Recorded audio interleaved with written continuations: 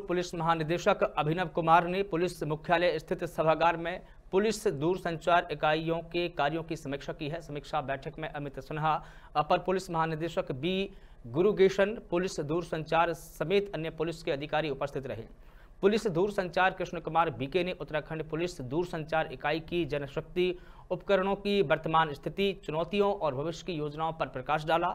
ADG Amit Kumar राजस्व क्षेत्रों से रेगुलर पुलिस क्षेत्र में आए वायरलेस कनेक्टिविटी का पुनः चिन्हीकरण करने के निर्देश दिए गए हैं। साथ ही ड्रोन सर्विलांस सिस्टम तकनीक बनाने पर भी ज़ोर दिया है, जिससे संवेदनशील और महत्वपूर्ण स्थानों के आसपास ड्रोन का समय से डिटेक्शन आइडेंटिफिकेशन और न्यूट्रलाइजेशन किया जा सके। और इसके साथ ही बी गुरुगेशन ने वायरलेस के analog B H F communication को डिजिटल कम्युनिकेशन के अपग्रेड करने की कार्य योजना पर प्रकाश डाला।